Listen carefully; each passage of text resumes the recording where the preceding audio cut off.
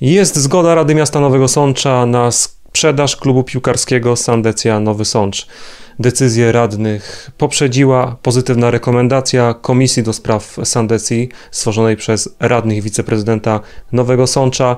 No i teraz y, otwiera się droga do tego, żeby już podpisać umowę z sądeckim przedsiębiorcą Zbigniewem Szubrytem, który jest zainteresowany klubem. Czy tak faktycznie się stanie i ile właściwie jest warta teraz Sandecja Nowy Sącz?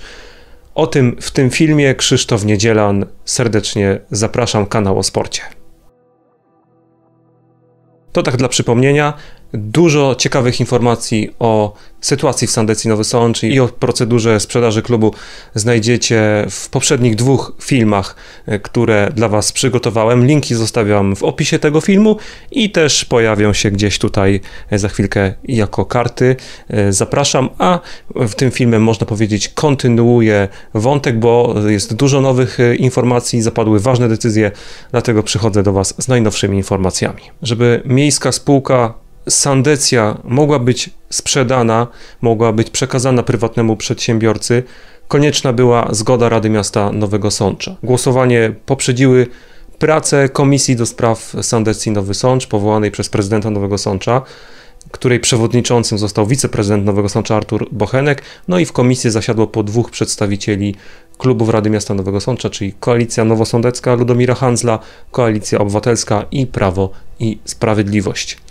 Po kilku spotkaniach komisji, ale także rozmowach z potencjalnymi właścicielami, bo początkowo było ich więcej, został tylko jeden Zbigniew Szubryt, e, została wydana pozytywna rekomendacja komisji i na podstawie tego prezydent Nowego Sącza zaproponował Radzie Miasta projekt uchwały, który 10 września został zaakceptowany przez radnych.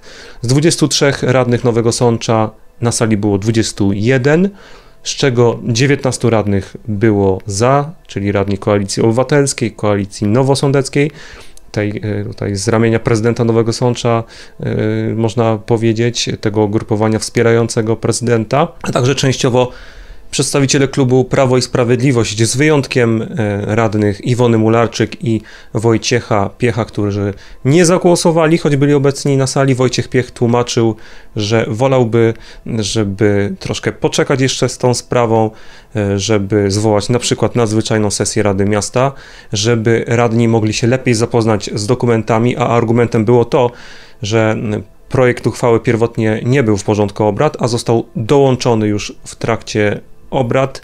Stąd też te wątpliwości radnego, który podkreślał, że kibicuje oczywiście temu projektowi, ale wolałby takie rozwiązanie. Ale e, to nie zostało e, przyjęte, głosowanie się odbyło, no i tutaj większością radnych zgoda na sprzedaż e, akcji w Sandecji Nowy Sącz w spółce MKS Sandecja została wyrażona. Co dalej będzie z procedurą ewentualnej sprzedaży Sandecji Nowy Sącz? No bo zgoda radnych jest bardzo ważnym i koniecznym krokiem, ale wcale jeszcze nie oznacza, że na pewno klub zostanie sprzedany. Natomiast wszystko ku temu zmierza. No teraz będzie trzeba podpisać e, umowę. Wiceprezydent Nowego Sącza Artur Bochenek mówił na sesji, że przewiduje, że w październiku, być może jeszcze we wrześniu, do podpisania umowy miałoby dojść.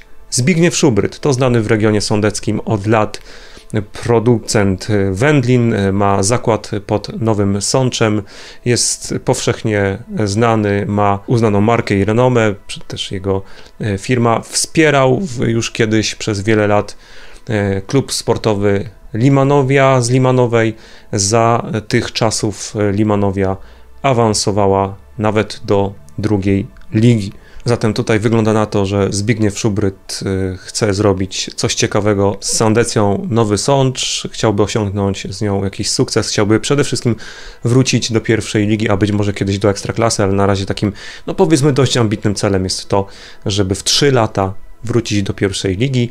Sandecja jest w tej chwili w lidze trzeciej, rozpoczęła dobrze sezon po spadku, jest niepokonana, 6 zwycięstw, jeden remis i prowadzenie w tabeli po siedmiu kolejkach z przewagą czterech punktów nad kolejnym zespołem Chełmianką Chełm. Ważnym pytaniem w całej tej sytuacji jest również to, ile właściwie jest warta Sandecja Nowy Sącz.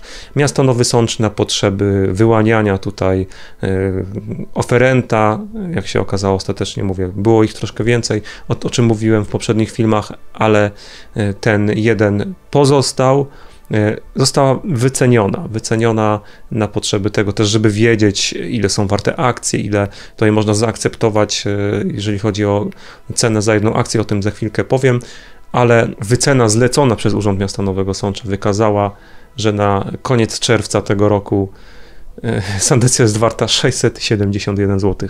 Tak? 671 zł. No bo na przykład nie wlicza się w to znak towarowy, herb, który ma pozostać własnością Nowego Sącza i nowy właściciel będzie miał udzieloną licencję na jego używanie. E, akcji w spółce MKS Sandecja jest ponad 300 tysięcy. E, ich wartość nominalna, łączna wartość nominalna to jest ponad 15 milionów złotych, ale zaraz się przekonacie, że rzeczywista jest dużo mniejsza. Jest tak, ponieważ Zbigniew Szubryt zaproponował 1 grosz za jedną akcję, co e, daje łączną sumę nieco ponad 3000 złotych za stuprocentowy pakiet akcji spółki MKS Sandecja. No i na jakich zasadach by się to miało odbyć?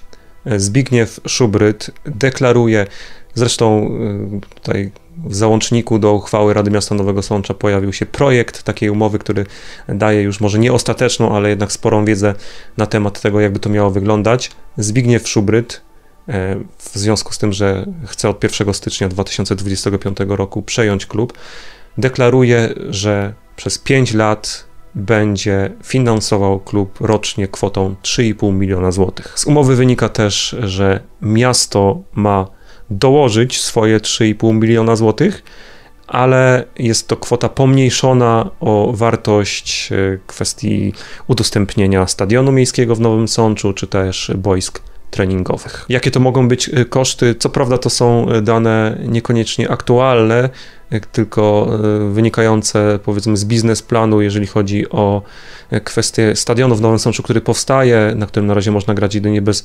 kibiców, bo nie jest gotowy, ale zakładając, że wszystko już jest gotowe, można normalnie w pełni funkcjonalnie ze stadionu korzystać, no to roczny koszt utrzymania szacowany jest na 2,5 miliona złotych, ale to są dane sprzed kilku lat, natomiast pokazuje nam to, jaką wartość niepieniężną może wnieść miasto Nowy Sącz do tej sytuacji. Jakie są jeszcze zobowiązania nowego potencjalnego właściciela?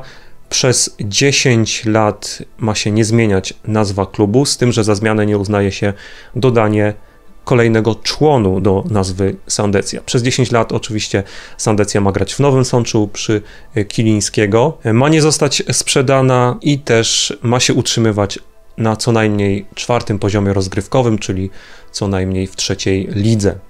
Zabezpieczeniem, tutaj takie żądanie ze strony miasta było i to znalazło się w projekcie umowy.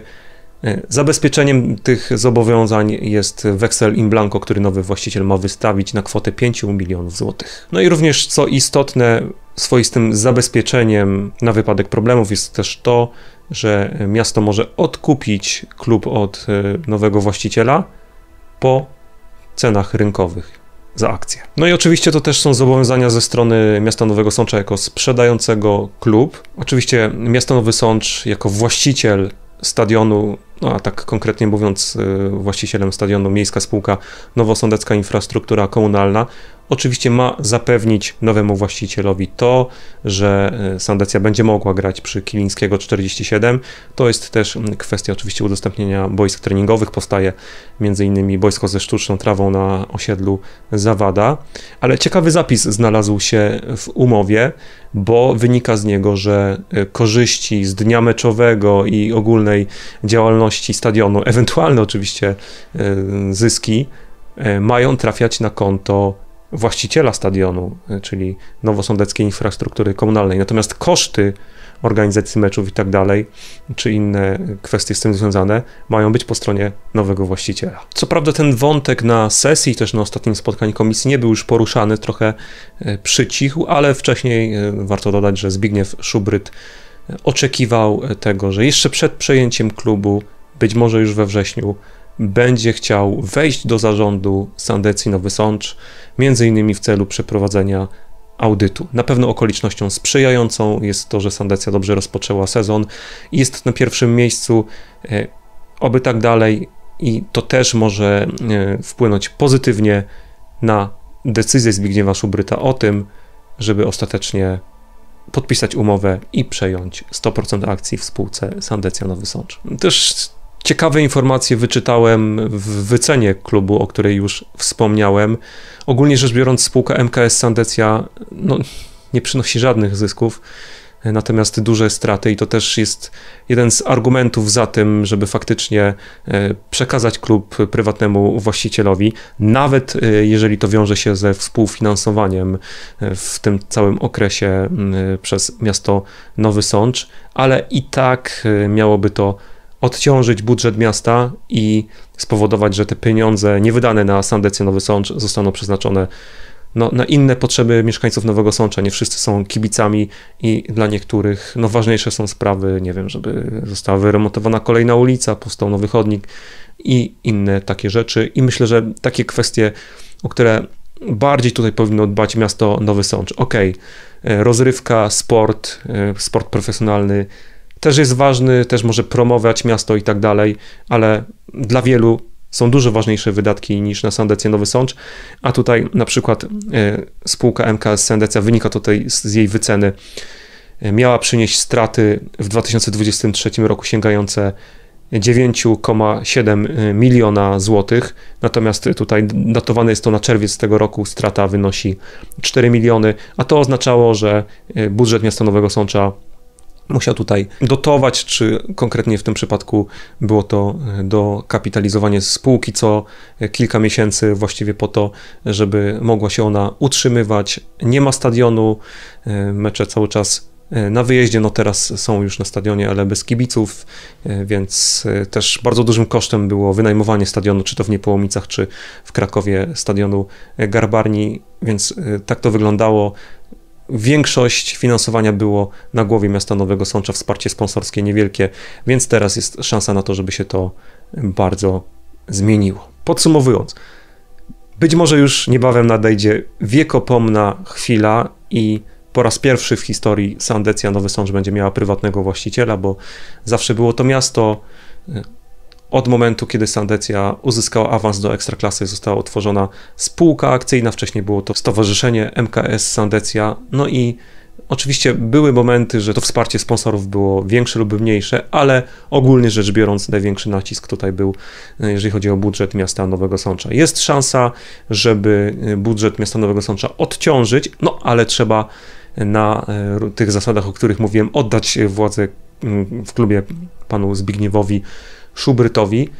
No ale wygląda na to, że nowy potencjalny właściciel na pewno e, ma na to pomysł, ma ambicje i e, to nie jest tak, że chce przejąć klub tak po prostu, tylko wygląda na, to, że naprawdę ma na to pomysł, chęci i ambicje, żeby e, piąć się w górę i żeby wrócić przynajmniej do pierwszej ligi, gdzie myślę jest miejsce Sandecji Nowy Sącz. Jeżeli ten film Ci się podobał, oczywiście zachęcam do zostawienia łapek w górze, do subskrybowania kanału o sporcie. Bardzo dziękuję, mam nadzieję, że były tu dla Was ciekawe informacje. Jeżeli chcecie wiedzieć więcej i poznać jeszcze bardziej tło tego wszystkiego, odsyłam Was do dwóch wcześniejszych filmów na temat Sandecji Nowy Sącz. Krzysztof Niedziela, kłaniam się nisko, do zobaczenia.